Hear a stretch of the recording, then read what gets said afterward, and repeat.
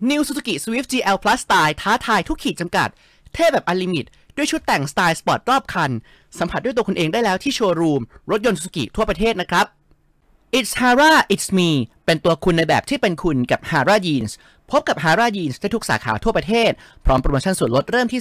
30%สนใจสั่งซื้อได้ที่ลิงก์ด้านล่างนะครับ ร่วมต้อนรับสุดยอดนักเตะประจำฤดูกาลจาก 7 ลีกใหญ่ทั่วยุโรปกับคลาส 2022 Team of the Season วันที่ 6 กรกฎาคมนี้ที่ FIFA Online 4 คลิกโหลดที่ลิงก์ด้านล่างได้เลยนะครับ สวัสดีครับต้อนรับเข้าสู่ 5 นาทีปีศาจแดงนำเรื่องราวเกี่ยวกับแมนเชสเตอร์ยูไนเต็ด ข่าวดีรับเช้าวันใหม่ที่สดใสครับ ยูไนเต็ดปิดดีลลิซานโดร มาร์ติเนซเสริมทีมเรียบร้อยแล้วนะครับ จากการยืนยันของลอรี วิทเวลล์ครับ ผู้สื่อข่าว tier หนึ่งจาก The Athletic เมื่อช่วงเช้าที่ผ่านมานะครับ ที่ระบุว่าค่าตัวและรายละเอียดส่วนตัวไม่มีปัญหาอะไรนะครับ ก็เหลือเพียงแค่การเซ็นสัญญา และตรวจร่างกายเท่านั้นนะครับสำหรับค่าตัวเนี่ยฟาบริซิโอ โรมาโนระบุว่าน่าจะอยู่ที่ 42 ล้านปอนด์บวก 4 ล้านปอนด์ add-on นะครับ แต่ว่าต้องรอตัวเลขให้นิ่งอีกครั้งหนึ่ง และเมื่อการเซ็นสัญญาเสร็จสิ้น เจ้าตัวก็จะเดินทางไปกับทีมที่ประเทศออสเตรเลีย เพื่อเก็บตัวต่อทันทีครับมาร์ติเนซนั้นมีสัญชาตญาณการเป็นนักสู้ตั้งแต่สมัยวัยเด็กนะครับ เข้ามาจากครอบครัวที่ฐานะไม่ดีเท่าไหร่ เขารู้ดีว่าชีวิตที่หิวโหยเป็นยังไงนะครับ ตอนเด็กเนี่ยมีบางครั้งที่เขาต้องอดมื้อกินมื้อครับ แต่ว่าทุกครั้งที่เขาสามารถจะช่วยครอบครัวได้ เขาก็มักจะทำมันเสมอนะครับ เขาเริ่มต้นอาชีพค้าแข้งกับทีมเรโอบอยส์ครับ อดีตทีมของลิโอเนล เมสซี่ โดยขึ้นทีมชุดใหญ่เมื่อปี 2017 นะฮะ ก่อนย้ายไปเล่นให้กับทีม Defensa y Justicia ในอาร์เจนตินาเช่นกันนะครับในปีต่อมา แต่ช่วงเวลาที่สำคัญมากๆของมาร์ติเนซนั้น คือการย้ายไปร่วมทีมอาแจ็กซ์ อัมสเตอร์ดัมที่มีเอริกเทนฮักคุมทีมในปี 2019 แล้วก็ยึดตำแหน่งตัวจริงในทีมของเทนฮักได้ทันทีนะครับและซีซั่นแรกครับตำแหน่งของมาร์ติเนซคือกองกลางตัวรับนะครับไม่ใช่เซนเตอร์แบ็กนะครับเขาคือตัวแทนของแฟรงกี้เดยองที่ย้ายไปร่วมทีมบาร์เซโลนาในเวลานั้นในฐานะมิดฟิลด์ตัวมันสมองตัวขึ้นเกมของทีมครับ กว่าที่จะขยับมาเล่นเป็นเซนเตอร์แบ็กอย่างเต็มตัว ก็จะเข้าสู่ฤดูกาลที่ 2 ของเจ้าตัว ซึ่งก็สลับกันกับตำแหน่งแบ็กซ้ายนะครับ เท่ากับว่ามาร์ติเนซสามารถจะเล่นได้ 3 ตำแหน่งนะครับ นั่นคือเซนเตอร์แบ็กฟูลแบ็กฝั่งซ้าย และก็มิดฟิลด์ตัวรับทำให้เขาสามารถที่จะเติมเต็มหน้าที่สำคัญที่เทนฮักต้องการนั่นก็คือการเป็นเซนเตอร์ที่ขึ้นเกมได้ การเป็น inverted fullback หรือว่า fullback ที่หุบเข้าใน แล้วก็มายืนตำแหน่งคล้ายกับกลางรับเพื่อปั้นเกม หรือว่าจะยืนเป็นกลางรับเลยก็ทำได้เหมือนกันนะครับ ฟังก์ชันก็จะคล้ายกับดาริบลินสมัยที่ค้าแข้งกับยูไนเต็ดในยุคของหลุยส์ฟานกัลเมื่อหลายปีที่แล้วครับ มาร์คโอเวอร์มาสอดีตผอกีฬาของอา j a x เคยพูดถึงมาติเนสว่าเขาเป็นกองหลังถนัดซ้ายที่ชอบขึ้นเกมจากแดนหลัง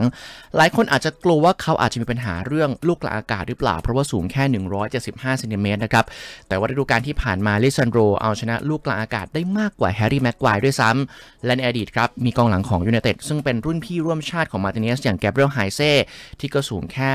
177เซนติเมตรแต่ก็สามารถเล่นลูกกลางอากาศได้ดีเช่นกันนะครับและไฮเซ่เองก็เป็นไอดอลและก็แรงบันดาลใจของตัวมาติเนสเองด้วยบังเอิญมาก ๆ เลยครับ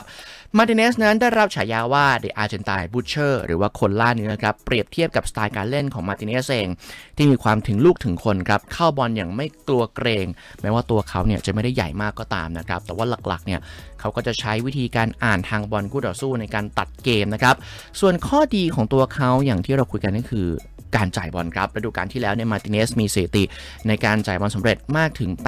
88.9%นี่คือสาเหตุว่าทำไมเทนฮากนั้นถึงต้องการตัวเขาแล้วก็ฉกตัวมาจากอาร์เซนอลของมิเกลอาร์เตต้าที่สนใจตัวนักเตะก่อนหน้านี้นะครับมาติเนสนั้นเคยสัมภาษณ์นะครับว่าเขาเป็นคนที่ชอบเล่นกับบอลครับตอนแรกเล่นกับอาร์แจ็กซ์เนี่ยเขาไม่ค่อยคุ้นชินกับสปีดเกมและการอ่านเกมเท่าไหร่ อย่างไรก็ตามเนี่ยเขาพัฒนาจุดนี้ได้ดีตลอด 3 ปีที่ผ่านมานะครับเพราะว่าจุดเด่นของมาติเนสคือการเป็นนักสู้และก็ไม่ยอมแพ้นั่นเองครับ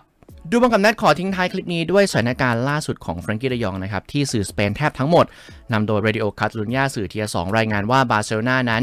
ได้แจ้งกับตัวแฟรงกี้ว่าเขาจำเป็นต้องย้ายทีมออกไปนะครับ และอาจจะต้องเป็นภายในสัปดาห์นี้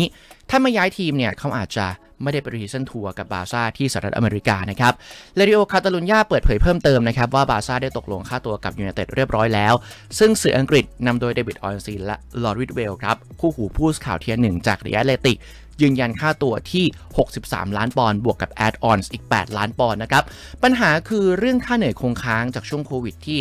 ยังไม่มีการสรุปวิธีแก้ปัญหานะครับ และตัวแฟรงกี้เองที่สื่อสเปนแล้วก็ฟาบริซิโอโรมาโนก็อ้างว่าเบื้องต้นเนี่ย เขาต้องการอยู่ที่บาซ่าต่อไป แต่ว่าจากรายงานของสื่อสเปนนั้นชัดเจนว่าบาซ่าได้แจ้งต่อสื่อที่ใกล้เคียงนะครับ ว่าพวกเขาเนี่ยต้องการขายเดยองออกจริง ๆ และอาจจะขายโดยเร็วที่สุดที่จะทำได้นะครับ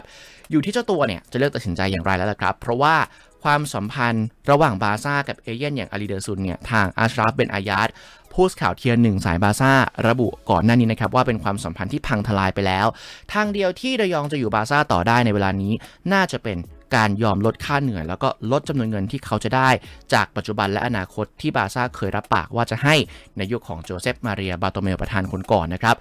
แต่ดูจากทางเลือกแล้วเนี่ยแฟรงกี้อาจจะไม่มีทางเลือกอื่น นอกจากย้ายร่วมทีมยูไนเต็ดแต่ว่าบทสรุปของเรื่องนี้จะเป็นอย่างไร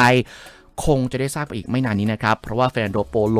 ผู้ข่าว tier สองฝั่งบาซ่าจาก Mundo Deportivoระบุว่าฝั่งยูไนเต็ดก็บีบแฟรงกี้แล้วก็บาซ่าแล้วเช่นกันนะครับ นั่นคือถ้าไม่มีการย้ายทีมภายในเวลาที่กำหนดยูไนเต็ดอาจจะล้มดีลแล้วก็ไปหาตัวเลือกอื่นแทน ฉะนั้น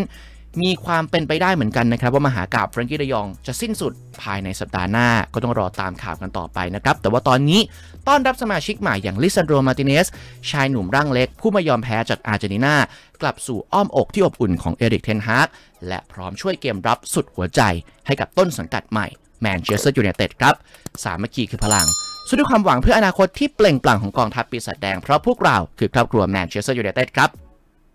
ขอบคุณซูกิ Way of Life ฮาร่ายีนส์